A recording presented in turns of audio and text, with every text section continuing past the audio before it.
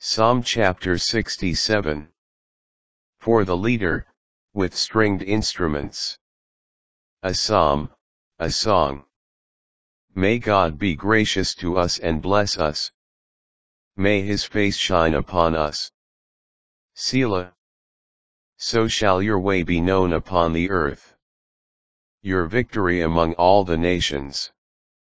May the peoples praise you, God. May all the peoples praise you. May the nations be glad and rejoice. For you judge the peoples with fairness.